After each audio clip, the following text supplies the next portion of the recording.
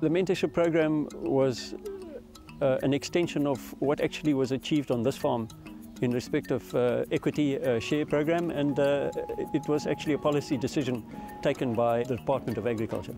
The mentorship program, one must remember, uh, started on this farm in 1995, 1997. One must also remember in those days, trust with regard to uh, workers was not high on the agenda.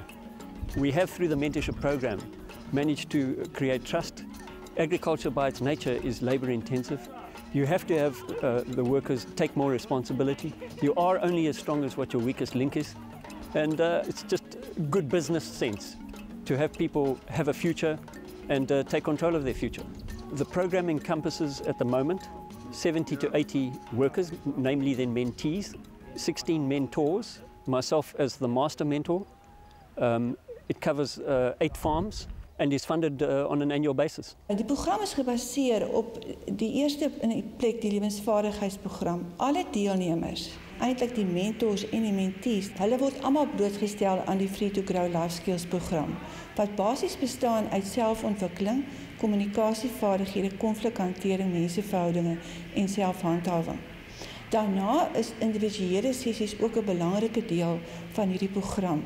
Die individuele sessies behels dat ons be begin om dit wat geleer is te implementeer om persoonlike probleme en ook werksprobleme aan te spreek, maar ook om botaniese eienskappe rakende die plant en op die ouend spesifiek gebaseer op die olyfindustrie en olyfproduksie, um, maar ook die verwerking van olyf olywe en olyfolie aan te spreek. Ehm um, daarna volg ehm um, bestuursopleiding, ehm um, daar volg ehm um, hoër vlak bestuursopleiding en so vorder ons met die program.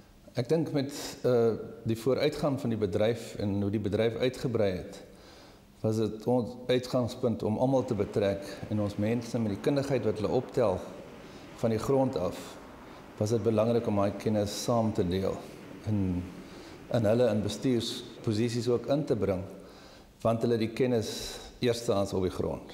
Die rede hoekom ek aan Free to Free to Grow program deelgeneem het, dis my bestuurder het ons benader om deel te word van die program om 'n uh, beter mens te word. Die grootste uitdaging van die program was die toepassing van die kursus was vir my 'n groot uitdaging want ek moes baie uh, aanpas by die program en dit is goed wat ek nooit van tevore gehoor of geweet het nie. Ik heb besloten om aan het mentorschapprogramma deel te nemen, omdat ik wou nog altijd meer leren. En ik geloof aan dat enige mens niet het doodgewone plaatswerker blijven. Ik wil bij graag meer wees als niet een gewone plaatswerker. En ik heb besloten om dit wat tot mij beschikking is te gebruiken, te leren. Ik denk dat dit programma kan bij meer plaatswerkers aangeboden worden.